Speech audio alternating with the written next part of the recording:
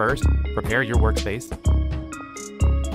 Then, head to the warehouse after 6 p.m. Go up the stairs and speak to Manny. Hire as many botanists as you would like. Return to your property and assign your botanist a bed. Remember to put cash in a suitcase. Assign your botanist a supply shelf. Remember to keep it stocked. Assign pots to your botanist. Each one can manage 8 pots.